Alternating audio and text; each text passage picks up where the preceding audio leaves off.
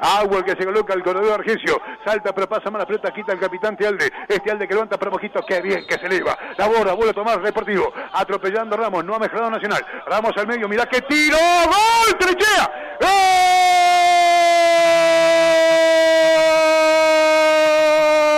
De Deportivo. Inolvidable de derecho el cálculo. El globo de Terechea. Desesperado miraba la pelota Roger. La pelota bajó abruptamente después de la humanidad de Roger, que ya la vio brava, cuando le había pegado de cachetada a Terechea, un gol bárbaro desde la izquierda, arco de la tribuna Roberto Sosa, con gol de Terechea a los 7 minutos, un gol inolvidable para el Botija, pasó a ganar Deportivo.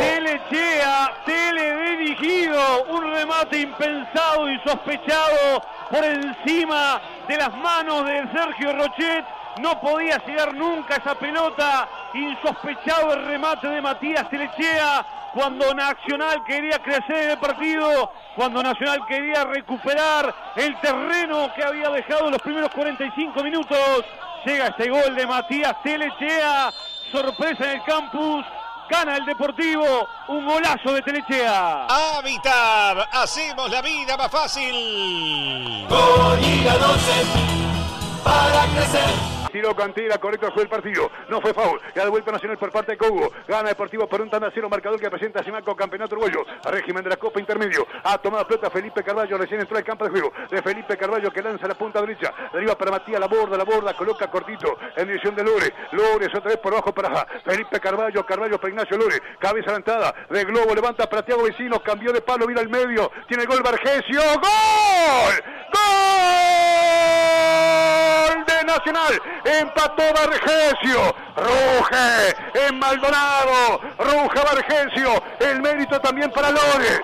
Cómo arrastró la marca después del centro de Lore. Tiago Vecino y Vargesio que no falla. A tiempo.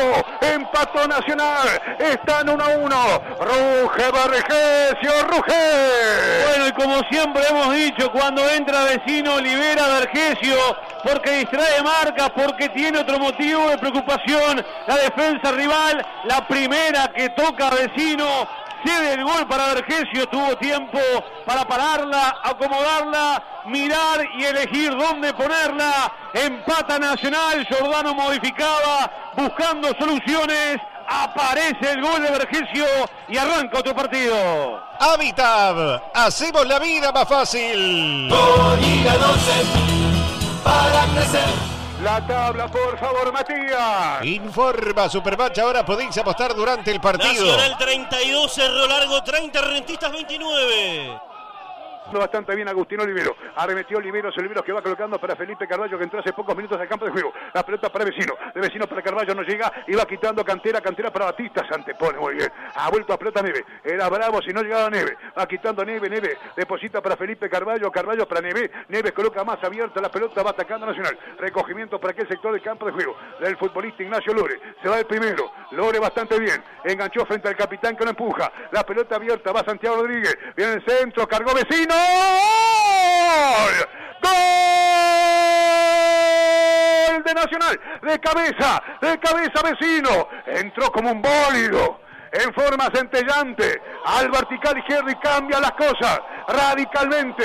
Los cambios Jordano dieron resultado. Vecino notable. Pasó a ganar Nacional. ¡Qué partido!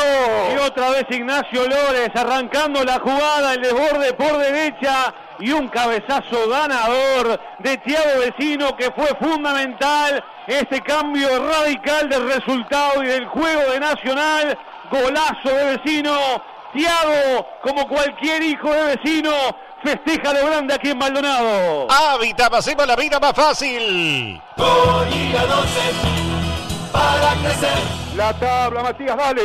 Informa Supermatch, ahora podéis apostar durante el partido. Nacional 34, Cerro Largo 30, Rentistas 29.